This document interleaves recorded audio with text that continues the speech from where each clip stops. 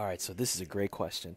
What's worse, the tunica intima being scraped by the catheter, or the needle tip snagging on the needle uh, on the valves? Of course, snagging on the valves is going to be worse. There's significant endothelial injury there. However, if we're inserting with ultrasound properly, it doesn't matter. It's not going to happen because the proper technique is to make sure that the needle tip is in the center of the vein while we're advancing. As long as you're in the center, you're not going to perforate through that leaflet itself.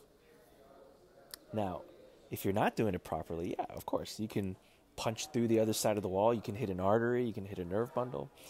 Uh, so yeah, it's it's always possible, and it is always worse. This is why if you're not confident or good at what you do with the ultrasound, sure, advance that whole catheter. It's better to do that than puncture things that you're not supposed to because you weren't good at the ultrasound in the first place. Now, of course, when I say you, I don't mean the commenter, I mean everybody here at this point. And now the second part of the question, or second question was with good catheter to vein ratio, basically large vein, does it matter? Is it really going to scrape that endothelium?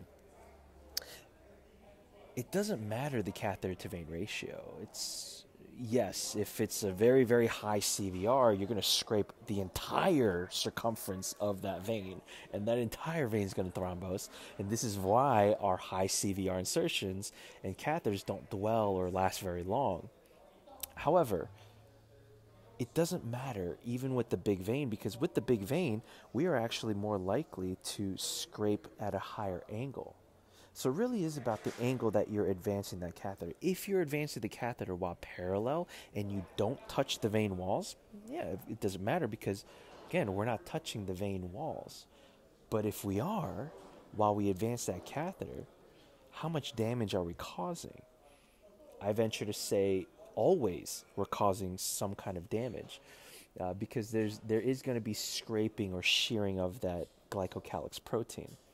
Now, how much is that glycocalyx protein scraping anyways while it's pistoning during regular use?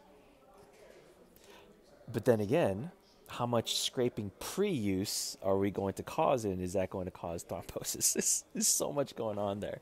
So, yes, just the catheter being there is going to cause uh, abrasions at the tip of the catheter for sure. However, let's reduce the amount of abrasion, the amount of surface area scratched by that catheter, so that we don't start the thrombosis cascade so overwhelmingly uh, during the dwell.